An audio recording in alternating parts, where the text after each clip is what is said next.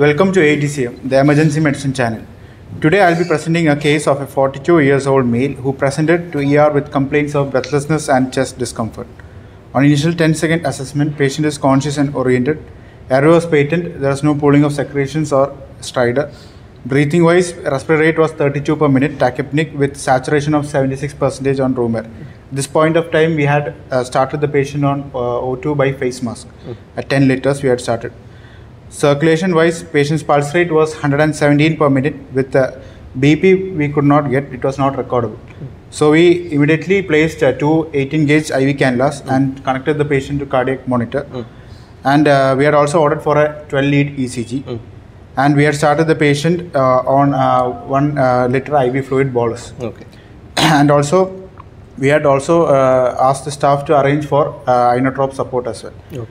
So noradrenaline was also ordered to be arranged, and uh, we are planning to reassess the BP after one liter of fluid bolus. Okay. Uh, disability-wise, GCS was E E4, V5, M6, and patient was moving all four limbs.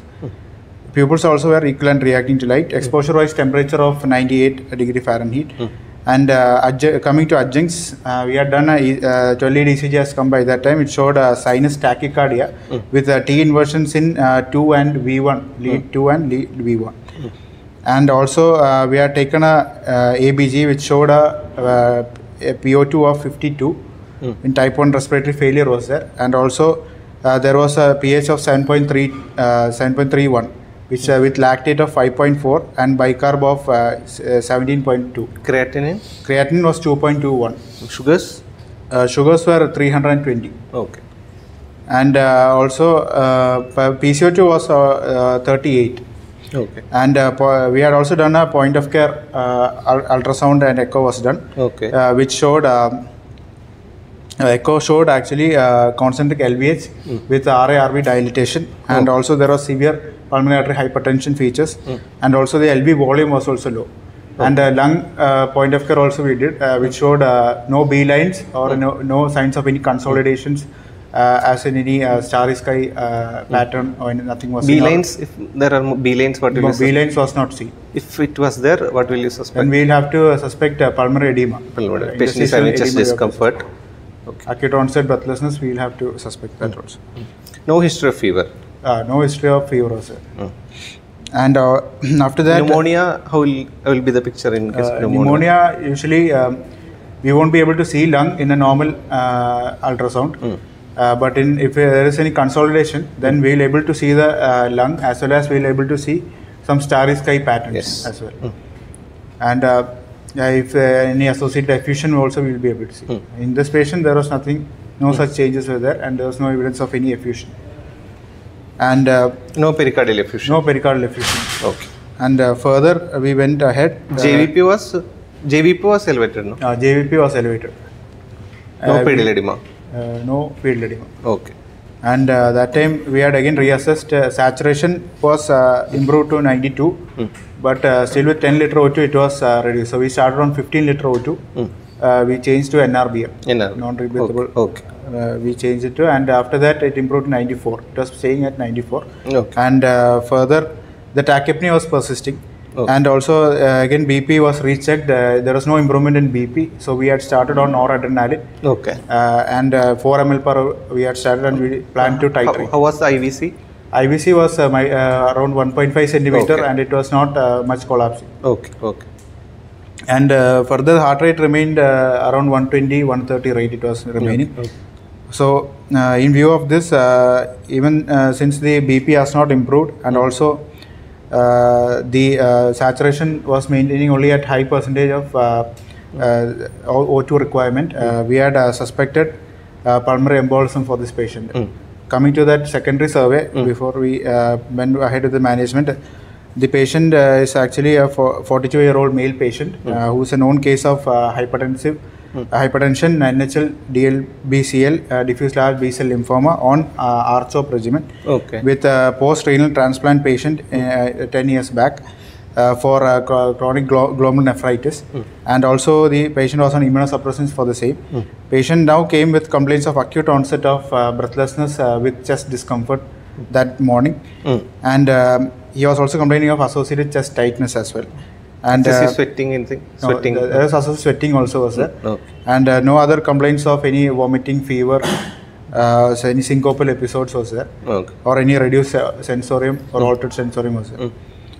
Uh, further, uh, patient was on uh, immunosuppressants, uh, tacrolimus, mycophenolate mofetil, Wysolone, and also he was on the RCHOP regimen for the uh, NHL. Mm. And also uh, on hypertensive uh, patient, he was taking only Nebicard. Okay. And there are no any other allergy to any medications. And uh, further, uh, we had uh, when CAD examination wise, CAD, CAD history is there? no CAD history. sir. Okay. okay. Examination wise, uh, patient's uh, chest was actually clear. Chest was clear, and also uh, heart rate, uh, CVS wise also S1, S2 was there, no murmurs were there. Mm. And uh, CNS wise, uh, GCS was, uh, as we said, 15 out 15 of by 15, 15. and uh, Okay. pupils are equal and reacting to light. Okay. And he was moving all four limbs. Okay. No, so not suspecting any focal deficits also. Okay. And also coming to GIT, also it was soft and non-tender. Okay. So um, here the here the patient presented with sudden onset of breathlessness, right? So uh, how will you approach a patient with sudden onset of breathlessness? What all are the differential diagnoses you will keep in mind? Uh, we have to uh, most commonly uh, it can be either acute pulmonary edema Mm. or uh, we'll have to suspect uh, any acute uh, asthma severe uh, uh, Acute status- exacerbation of bronchial asthma. Yes. or any acute exacerbation of COPD COPD. we'll have to suspect or uh, we'll have to in case of uh, pediatric patients and all we have to suspect foreign body Mm. Okay. obstruction we have to suspect uh, these are main uh, Pulmonary edema, uh, Pulmonary- pulmonary embolism. Embolism- pulmonary embolism Okay. And uh, then further uh, since the patient was still uh, not improving with the inotrope support also Mm. it was bp was still non recordable so the, we uh, didn't wait for any investigations further Mm. we had taken all labs and sent Mm. D, including d dimer uh, and all we have sent but uh, and uh, cardiac enzymes also So um, in this patient, um, you were suspecting pulmonary embolism, right? pulmonary embolism So what what all are the risk factors in this case for for uh, development of pulmonary embolism? in this case a patient uh, is a known a malignancy history is there with active treatment is there Patient was not bedridden, right? not bedridden. He was ambulant, not bedridden. Uh, otherwise, no other previous histories of DVTs was there, uh, or any mobilization, uh, long travel history, or any other uh, surgical history or any trauma history. Hypercoagulable Uh, states. hypercoagulable states also not uh, diagnosed. okay.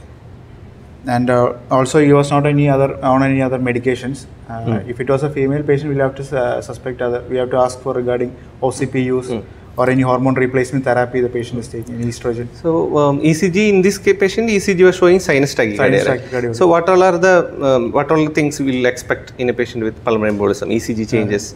Most common commonly uh, this uh, sinus, Sinus tachycardia tachycardia. what we'll see. okay. Then uh, other cases it can also lead to uh, lead to arrhythmias as well. Mm. Uh, we can see uh, Most common arrhythmia AF is atrial fibrillation. atrial fibrillation. So new onset AF can occur and also any um, LBBB uh, pattern uh, LB pattern because of the RV dysfunction or T uh, inversions can uh, T inversions in uh, V1 to V4 Four, usually yeah. can be seen. Then uh, right ventricular strain patterns and right ventricular hypertrophy. can be seen. S1Q3 T3. Uh, S1Q3 is the most uh, classical uh, finding. Okay. And uh, what about uh, what about in X-ray? X-ray changes in X-ray uh, most commonly uh, it, it will be normal Mm. findings, uh, uh, and then sometimes it can, we can see two signs. Name signs are only two of them: uh, Westermark sign and uh, Hampton hump sign. Westermark sign is like uh, oligemi of the lung phase will be seen, okay. and uh, in uh, uh, Hampton hump sign will be there will be wedge-shaped opacity Okay. uh, just above the diaphragm and all. It will be usually be there. And uh, in And, uh, 2D echo we'll we'll see. Uh, 2D echo, mostly we will see that RA, RV uh, dysfunction will be there, dilatation will be there, RV failure. Flattening of uh, septum. septum. and also RWMA regional wall motion abnormalities will be seen mostly in the free wall of right ventricle. Right and ventricular septum motion mostly will be thinned out or will be bulging into the left ventricle, Yes. and that also will reduce the compliance of left ventricle. So and- uh, he in this patient patient had uh, RV dilatation, no? Uh, RA RV dilatation was there. Then also named sign was uh, is this uh, McConnell sign. Mm. In McConnell sign, it will be the apex will be spread. Mm. The apex is tethered uh, t- uh, to the left ventricle. So we won't we'll see the apex moving, but the rest of the uh, the free wall and won't be moving. Okay. okay. So um, how did you manage this patient further? So since the patient uh, did not improve uh, with our initial fluid management and inotrope support, Mm. Uh, we had uh, not waited for Patient was started on oral, right? yeah, noradrenaline was started and it was titrated. We uh, almost reached 20, also it didn't uh, improve much. Only 90, 60 was maximum we could get. Okay. So we had, uh, uh, without waiting for any further investigations, we had given an injection heparin uh, 5000 unit uh, bolus, IV bolus was given. And further we had arranged that time for the RTP, uh, reverse uh, re- recombinant tissue plasminogen activator. What was the dose of alteplase? we took alt- Alteplase, uh, we took uh, 100 mg. Mm. In that, uh, 10 mg was given as uh, bolus dose. After that, uh, the rest 90 mg was given over Infusion, uh, at uh, two hours. Slow infusion was given. Okay. And um, further, uh, we had also uh, uh, plan after the uh, uh, Alteplase, we had also started the patient on infusion, heparin infusion with uh, 1000 units uh, per hour. Okay. So bolus will be uh, 80, 80 uh, per, per kg, and uh, uh, the infusion will be 18 per kg. Okay. So uh, that we have started 1000 units per hour. We have started. What are the contraindications for uh, thrombolysis? Uh, thrombolysis, uh, we'll have to ask prior history of any IC bleed or any uh, previous recent stroke patients, uh, yeah, less than three months and all, we, sh- we should not uh, thrombolyze. Uh, or any other uh, internal bleeding or NGA bleed, Okay. patient recent or any uh, bleeding uh, diathesis or any other other coagulation defect patients or on What any all things you should monitor while uh, uh, thrombolyze? While thrombolizing, uh, we'll have to uh, monitor the BP. Yes. We should uh, uh, usually uh, before uh, we are thrombolizing, we should keep it below uh, 180, uh, 110. Okay. Uh, 185 and 110 and after uh, thrombolysis we should keep it below 180 and 105 Okay. and uh, we should persistently keep it below that uh, bp monitoring should be done half hourly to one hourly and after that uh, we'll also have to uh, monitor for the patient's sensoria Yes. if he is developing any new onset headache, vomiting, or any uh, reduction in GCS, Yes. we'll have to be monitored. Then we'll have to suspect for IC Yes. bleed. Yes. yes. Okay. Uh, what all are the non-thrombotic causes of pulmonary embolism? Uh, non-thrombotic, uh, uh, we can we have other causes such as uh, uh, can be seen in air embolism, as in Septic emboli. septic emboli. Air embolism Females, seen in mm. central venous cannulations or any other yeah. surgeries can cause. Uh, septic emboli can be seen in any in endocarditis patients, infected endocarditis. Mm. Then other uh, Pregnancy. causes, uh, pregnancy can cause amniotic fluid embolism. Yes. Can be there. Then fractures of the long bones can uh, Fat lead to fat embolism. embolism. Yes, definitely. Uh, other causes, uh, we have the uh, less common causes of hydatidiform mole. So, in a patient, in a, a patient, uh, bedridden patient, or a patient in ICU for uh, three to four days, uh, what all things you should do to prevent uh, DVT and thromboli, uh. We have to uh, give the prophylaxis has to be started. If the patient Mm. is going to be uh, bedridden for a prolonged time, then we'll have to start the patient DVT on, uh, prophylaxis. DVT prophylaxis. And Uh, active, uh, so we'll have to start with the dynamic compression stockings and also uh, the injection, uh, either heparin injection or uh, based on the creatinine or low molecular weight heparin. And, and uh, early mobilization. early mobilization of the patient is useful. And and further we had after the uh, alteplase injection, we had started the patient on infusion 100 units per hour, 1000 units per hour. We had started infusion, and we had uh, continued for almost uh, five days. Okay. Uh, along with that, also we had uh, started on uh, rivaroxaban. Okay. What are all the um, commonly used oral anticoagulants? Oral anticoagulants, uh, we uh, use uh, factor 10 inhibitors like Rivaroxaban, uh, rivaroxaban, apixaban. apixaban, uh, then uh, fondaparinux, most commonly used. So, uh, finally, what happened to how, what happened to this patient? Then we, uh, the dose we had started initially uh, rivaroxaban at 15 mg uh, BD was started, Okay. and uh, after five days we had uh, slowly uh, stopped uh, the heparin and continued with the uh, rivaroxaban. So while uh, starting heparin, we had uh, monitored the APTT values, and we had maintained it above twice the uh, limit, twice the uh, upper limit of APTT.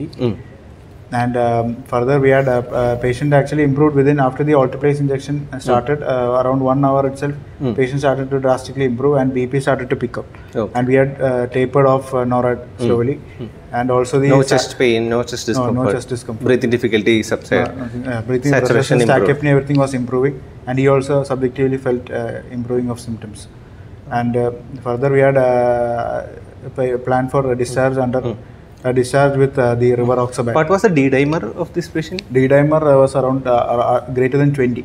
What is the role of D-dimer in uh, in a case of pulmonary embolism? Uh, D-dimer as such, uh, we can't uh, diagnose pulmonary embolism, but we can uh, rule it out. So it has only a negative predictive value. If D-dimer is negative, Negative, we can rule off pulmonary uh, embolism. pulmonary embolism. But if even if it is positive, uh, what are the other causes like of elevated D-dimer? Other causes, sepsis patients will have, uh, or any uh, stroke patients, So it's non-specific. non-specific. Uh, Okay. So uh, basically, uh, we should be knowing how to approach a patient with breathing difficulty in ER. So here the patient, uh, 42-year-old male patient, no, presented with complaints of sudden onset of breathlessness. On arrival, patient was having tachycardia, tachypnea, uh, and uh, hypoxia was there. And uh, chest X-ray was normal. Uh, point of care ultrasound, uh, it is very important. Uh, it was not showing any B lines, right? No, no B and uh, echo was showing RV dilatation. RV dilatation. And uh, in view of hemodynamic instability, um, we have started uh, on uh, thrombolyzed patient. Heparin was started. Then started thrombolysis. was Mm. Vitals were monitored, Monitored. and patient improved symptomatically, right? Okay. Uh, what is Wells score?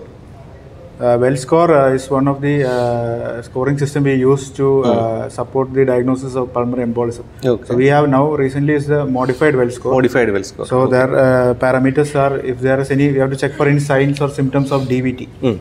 So for this patient also we had done a Doppler uh, venous Doppler was done and there was no evidence of DVT. Okay. Then other uh, we should uh, if the uh, there are signs and symptoms of DVT we will assign a score of three. Okay. And if there are uh, no other alternative diagnosis, as in we are suspecting pulmonary embolism itself, then it will be around 3. Mm. Then again, heart rate, we have to check if it is more than 100, uh, we will give a score of 1.5. Okay. Then uh, same for the immobilization, more than 3 days or any surgery, recent surgery in uh, one month. Uh, 1.5 will give. Again, previous histories also of DVT or pulmonary embolism 1.5. Okay. Hemoptysis again 1.5 and uh, hemoptysis will be given as 1 Mm. and a malignancy with active treatment as in this patient will be given as 1 Mm. so if, based on the score uh, if it is uh, Mild, more- moderate, if less than or equal to 4 Mm. we'll uh, say pulmonary embolism unlikely Unlikely. 2 and 6 uh, was the cutoff previously now modified score less than or equal to 4, Four. is uh, unlikely uh, pulmonary embolism and more than 4 we'll have to suspect pulmonary Okay. for this patient uh, around we got 5.5 Okay. So another uh, scoring is there, no? pulmonary embolism uh, rule out criteria. uh, pulmonary embolism uh, rollout criteria is basically uh, we if we have a less uh, suspicion for pulmonary embolism we usually use that score to rule out pulmonary embolism What are the eight factors? eight, uh, eight factors age uh, less than 50 will be there Mm. uh, then other causes uh, pulse rate uh, uh, pulse rate less than 100 then uh, oxygen saturation more than 94 percentage then no uh, neuronatal leg swelling hemoptysis no surgery or trauma within 6 weeks no previous dvt or pulmonary embolism uh, or any uh, no or- oral hormone Mm. agent use Okay. so if all eight criteria are uh, Negative. negative We can rule we can out. rule out Pulmonary embolism. if any one is yes we have to suspect it Okay. Anything else you want to add? So um, uh, read more about uh, approach to a patient with breathing difficulty. Thank you.